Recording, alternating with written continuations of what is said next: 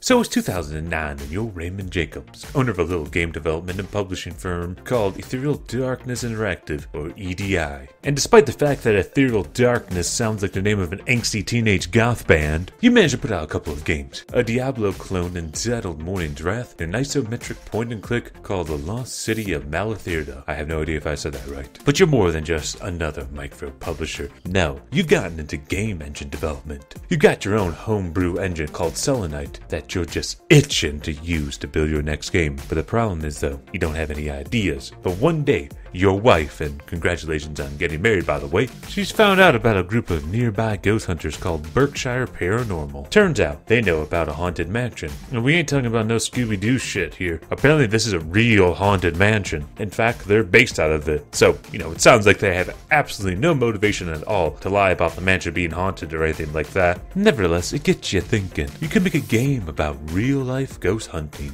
and note the air quotes you can't see. After all, aren't those ghost hunting shows all the rage right now in 2009? So you talk to these Berkshire guys, they sign off on your idea, and you get access to the mansion. The problem is, you have limited resources and probably a very tiny budget. Building the mansion from the ground up in 3D or 2D is just simply out of the question. It'd be too costly and take too much time. Now, you need to make this game quick and as cheap as possible. So you stare adversity right in the face and say, fuck off, I'm a clever booger. That's right. You think of a nice workaround that's going to help you make this game as cheap and as quick as possible. You go out and find a local photographer, you hire them, and they're going to take some pictures of the mansion for you. Then you hire some actors, or maybe they're just friends of yours, I'm not sure. Hell, you even get the head of the ghost hunters to stand in front of a green screen for you. That's right, ladies and gentlemen, and everybody between. You're making an FMV game in 2009 because, well, you tried.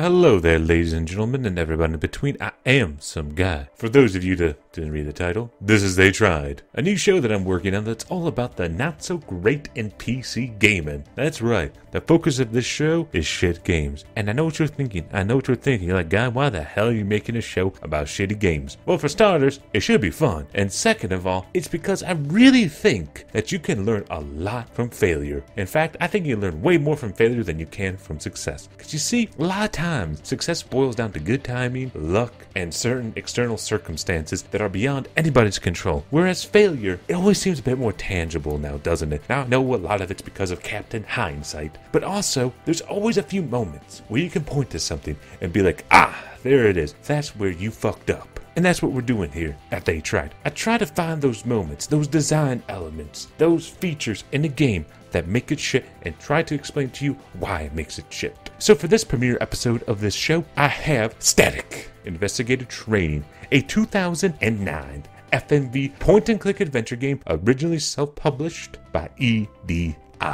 Now, I say originally self published because for some odd reason, in 2015, Strategy First decided to give this game a Steam release. Why? I got no idea. Maybe Strategy First got creditors to pay. Maybe they got a sweetheart deal from EDI. But it's certainly not because this is a classic FMV game. If you bother to Google the reviews for this game, you'll see there's very few of them. And you also see they're not particularly positive. And this is for when it was originally published back in 2009. So I don't think there was really anyone clamoring for this game to be re released. In fact, I don't think anyone even heard about it until it was published on Steam. But even then, it's still a fairly obscure title. I don't mean it in a condescending way, but we are talking about a micro published, buy off my website type of game that faded quickly into obscurity that just now saw a Steam release for some odd reason. But even with all that said, there's still a couple of interesting things about EDI and about static investigative training. And for starters, it has to do with the game engine. See, the game engine's called Selenite, and it's made by EDI. It's their own homebrew engine. Never heard of it? Actually, I'd be fucking shocked if you did. Because you see, outside of EDI games, I could not find any other game that was ever built using this engine. In fact, I'm almost certain that this engine has never seen a public release. But still, there's one little interesting tidbit I found out about the history of this engine that, for an adventure game fan like me, was kind of fascinating. And that's in an old GameDev.net interview that Mr. Raymond Jacobs, owner of EDI, gave. He stated that Dave Gilbert, yes, the Dave Gilbert of Wadjet Eye fame, was going to be using selenite for an upcoming game. Now, this interview was done back in 2010, and it's now 2015, and, well, Eye has never made a game other than Emerald City Confidential that wasn't built using the AGS game engine, and Emerald City Confidential was made using Playground SDK for those of you that want to know. What's also interesting too is I could find no follow up interview or really no other information about this tentative link between Eye and EDI, so I'm kind of curious what happened there. But I would only be speculating at this point, I've already filled up enough filler for this episode, so let's get on to the game now and take an in depth look at why static investigator training isn't very good. From the onset, you'll be rather underwhelmed with static investigator training. This is a rather lazy Steam release with no achievements, no cards, no nothing, and I guess Strategy First was ashamed of it because they didn't even bother to include their name in the intro cinematic that we're watching right now. And what the fuck are we watching right now?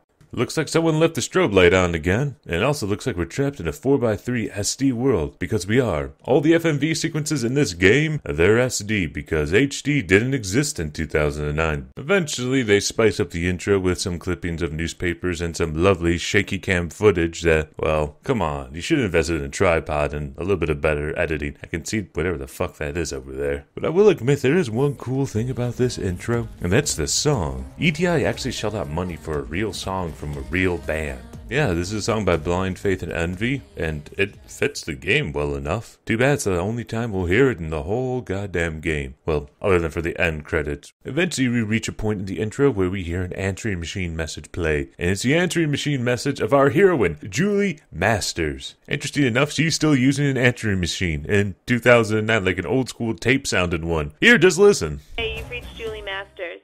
I'm not here right now. I'm out walking on the dark side or grabbing a cup of joe. Leave one.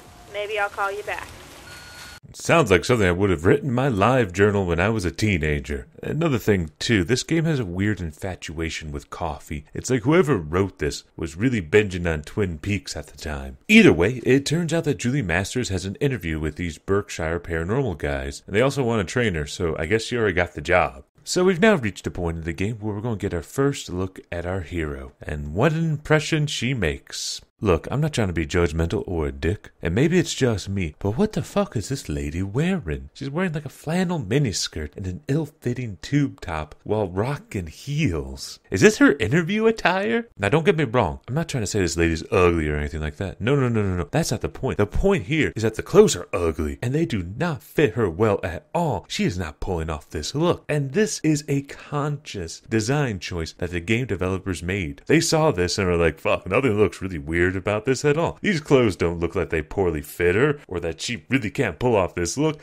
Ah, fuck it, it's sexy. The guys will love to jerk off to this, right? Right? Right? Ah, oh, fuck it. Eventually, we get inside the damn mansion where we meet Lindsay, who is the most appropriately dressed character in this whole goddamn game. And it also gives us our first taste of how bizarrely written this game is, and also how poorly animated. Here's actually what you see the first time you actually get in the game. This is the first dialogue sequence that isn't in an FMV sequence. So let's enjoy it together, completely unedited. One time we had a guy fall asleep during a museum investigation. I mean, he was out cold. Ever since then, we've made sure that coffee is always brewed up for the crew.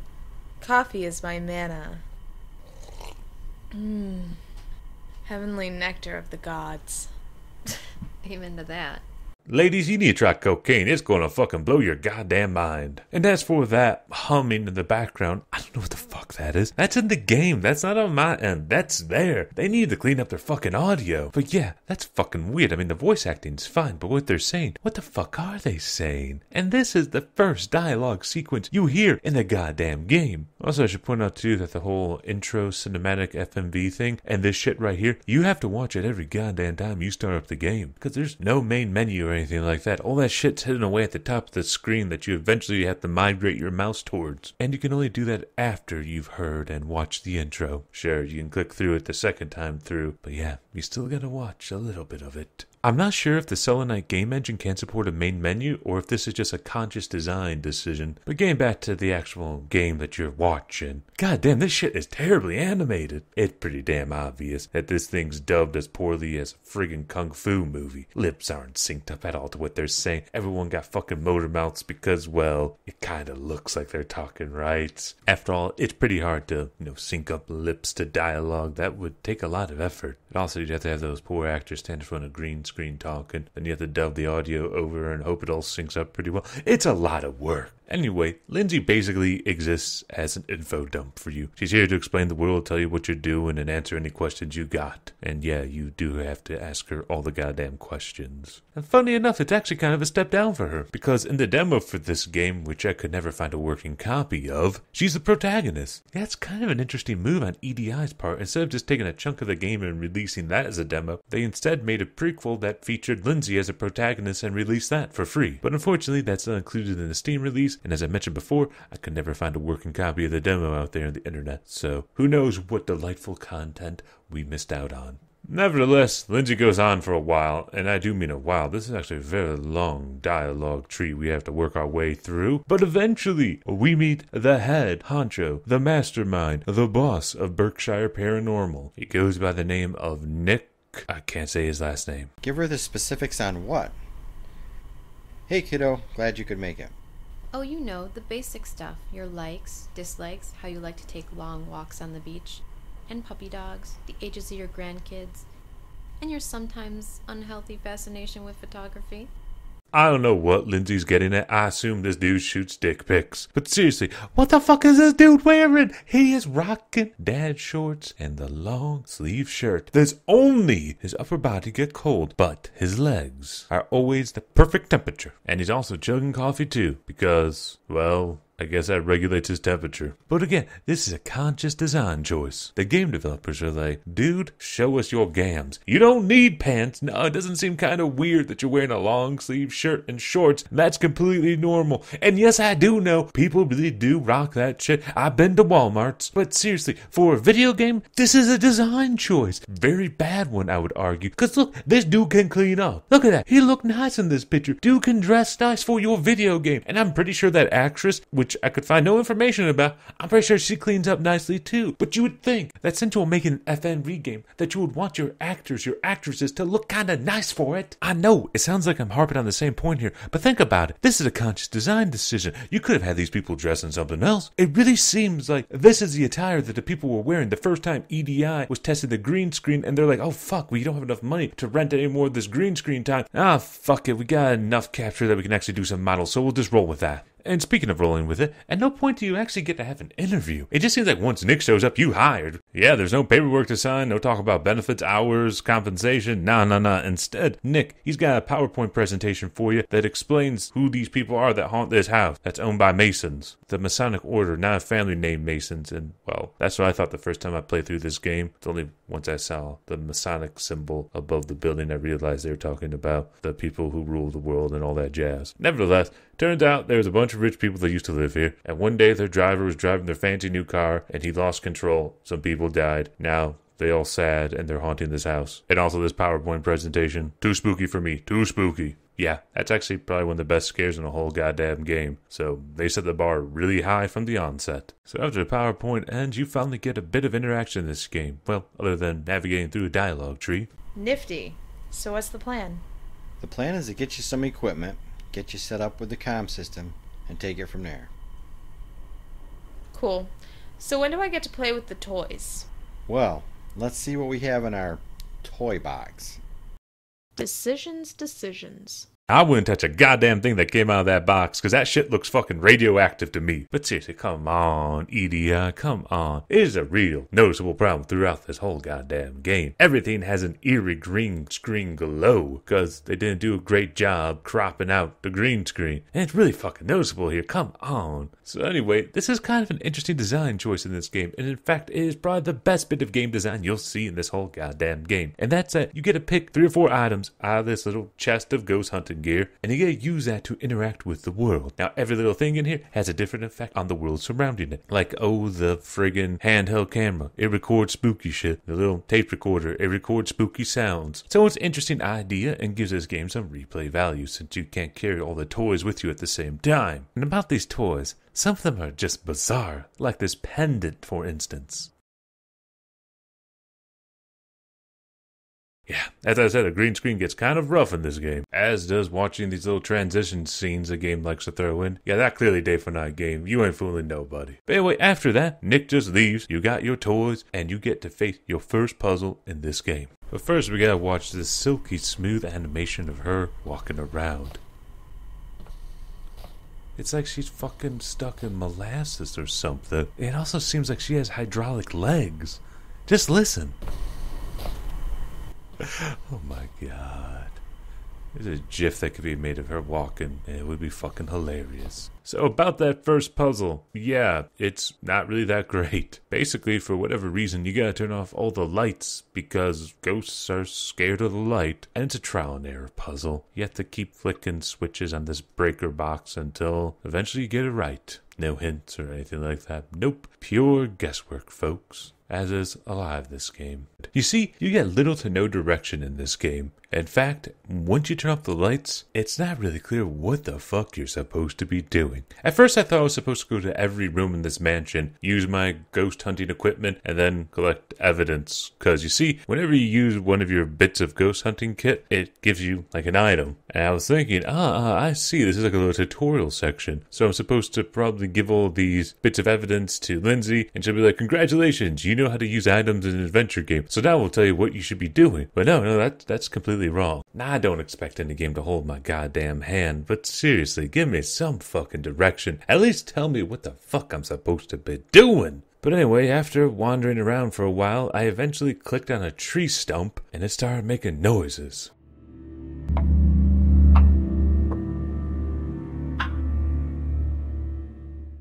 Why, yes, my friends, yes, yes, yes. That's Simon. A shitty, hard to distinguish the difference between each note version of Simon. Oh my god, every adventure game rips off Simon at some point now, doesn't it? Anyway, after following the orders of the supernatural, I was able to beat Simon, and then a ghost popped up.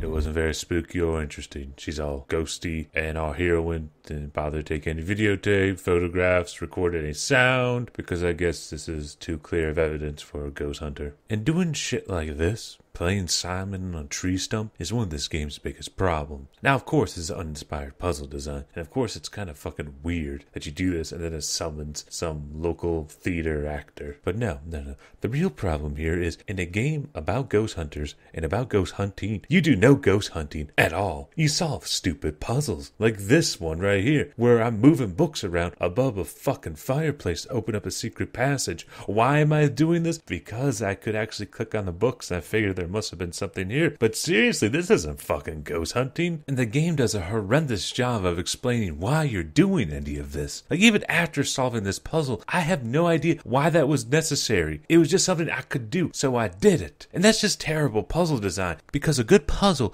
there's an internal logic to it. There's a reason why it exists. For an example, say there's a big ass wall. Behind the wall is a million trillion dollars. Our hero needs a million trillion dollars to save his farm from an evil corporation. So we know as a player that we should try to figure out a way to get over that goddamn wall. But in static investigator training, there's nothing like that. There's no cohesive logic at all. You basically stumble into puzzles and then you have to bludgeon your way through them. Like again, I have no idea why I'm doing anything in this game other than I have no other options. And maybe you could forgive this if there was some payoff, but there isn't any payoff. You find a diary that just basically regurgitates what you learned in the PowerPoint. Seriously, this diary has nothing cool in it, nothing spooky, nothing really all that interesting. We already know all this shit. There is another diary in the game that I assume holds all the plot, the story, all the interesting ideas this game has, but unfortunately, it's written in an illegible font. What a shame. I'm sure this would have saved the game. But from there, there's really not much else you can do. Like, I just wandered around until eventually I went in the graveyard. Now, the first time I went to the graveyard, there was nothing going on. But then I went back after a while, and holy shit, there's a fucking radio there for some reason. Why? I don't know. Maybe it's a timed event. Maybe I clicked on the right thing at some point in the game. It's really hard to tell because the game gives you no feedback at all. So I clicked on the damn radio because what the fuck else was I supposed to do? And then started playing, and it was all vague and shit.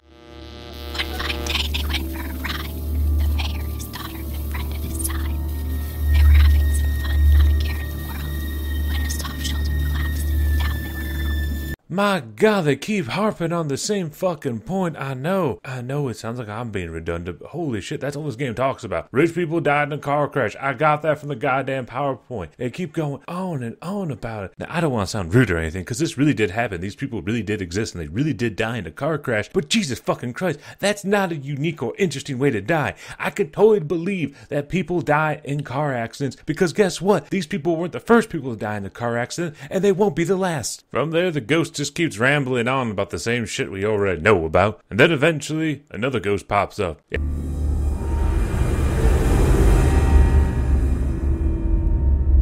that's the ghost of the father whose kids died in the car crash, and he died of like a broken heart or something. All very sad. And yeah, all this is based on a true story. It has a Wikipedia page and everything, but again, not exactly inspiring the way it's told here. So we get to watch as Ghost Dad just walks over to his grave and disappears. Why does he do that? I don't know. Maybe in the original draft you were supposed to look for this grave for some reason, but not in the version you actually play, because you already know that the dude's buried here because his name's on the fucking tombstone. So why is it so surprising that he walks to his grave? Guess it's spooky. But yeah, speaking of half-ass shit, there's a shovel I picked up. Now you can use this shovel on a piece of dirt over where the first ghost lady showed up, and you'll find a box in it. And inside the box, you'll find a piece of jewelry. Turns out it belonged to one of the ladies who's a ghost now. Now me thinking like this is an adventure game, I thought I would take this necklace and put it back in her jewelry box because I already discovered that because I clicked on every fucking thing in this game. But once I got over there, nope, no luck at all. Turns out jewelry does not work inside a jewelry box. There's no point behind it, actually. There's no point behind either one of these items. It just seems like there was an idea for a puzzle here that just wasn't implemented, which kind of gets me back to one of the points I made earlier saying that I don't think this game was finished. But either way, we've reached the climax now of the game. Yeah, seriously, this is pretty much the last few minutes of it right now.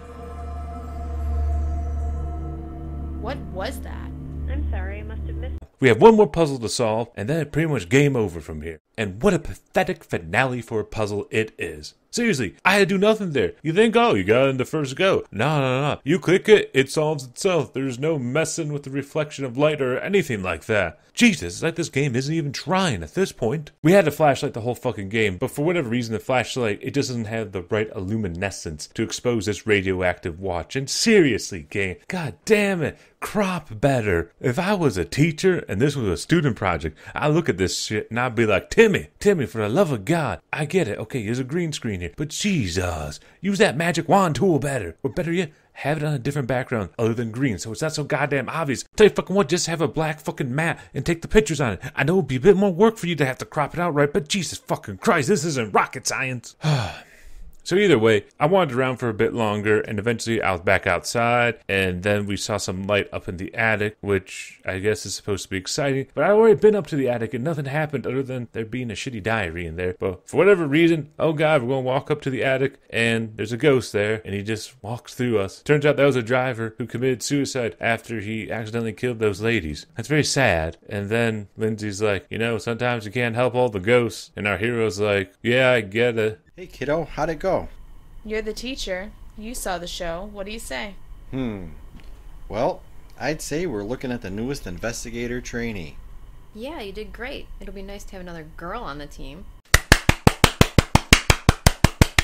Yay! I guess you accomplished something. I guess. You revealed information they already knew. The driver committed suicide a couple days after he accidentally killed the girls. That's documented history. You didn't really uncover anything. Actually, what the fuck were you supposed to be doing? It's pretty damn obvious this place is super haunted. But fuck off. I know why she even here? Why'd you do anything? Oh, what the fuck was the point behind this game? Maybe in this wee hours, this final moments of the game, it will explain itself. And maybe it'll all be worthwhile. I went to North Adams in the hopes of disproving the existence of ghosts.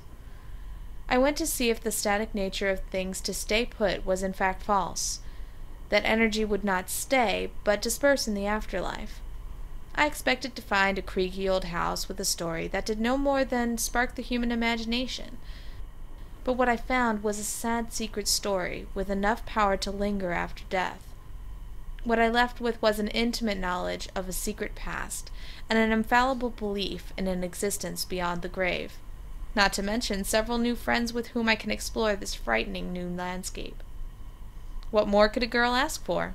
A better game. But in all honesty, I don't know what secret history she's going on about. I guess there's kind of some hints that the driver and one of the ladies that died were in love because their pictures are in the locket. And that's why they're still ghosts and that's why they're still hanging out because he's super sad that he killed the woman he loved. Alright, I guess I can buy that, but I really can't buy anything else in this game. Holy shit. To try to figure out where this game went wrong, it starts at the very beginning. It is super hard to take this game seriously. It's not that it's an FMV game. I like FMV games. I adore their campy nature. But this one, it just starts off incompetently, stumbles around, never bothering to explain itself. It's a ghost hunting game that features no ghost hunting and very lazy puzzles. It's not that this game is complete and utter shit or terrible. It's just that it's boring. It's uninspired. There's nothing really exciting about it. Sure, the part where you get to select the different tools to go explore the house with, it's pretty cool, but it has no impact on the overall game. It's just filler. To be honest with you,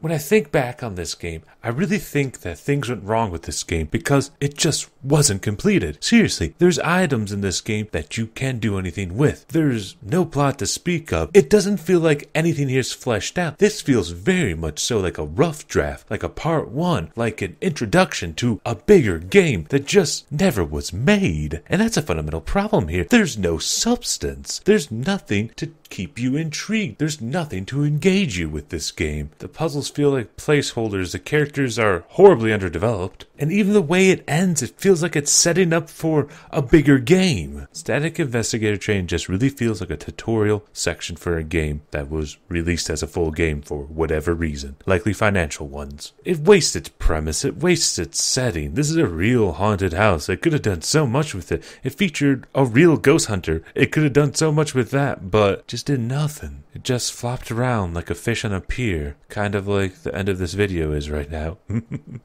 Alright, so that does it for They Tried. I've been some guy, and as I said before, this is They Tried, a look into the not so great in PC gaming. And for my next episode, I'm going to be taking a look at a not so obscure Polish game, or maybe it is obscure. I don't know. Either way, it's Enemy Front. It came out not that long ago, and I'm going to be taking a look at it here on They Tried. So, ladies and gentlemen, and everybody in between, have a good morning, good afternoon, or good evening, and hopefully I'll see you next time. Bye bye.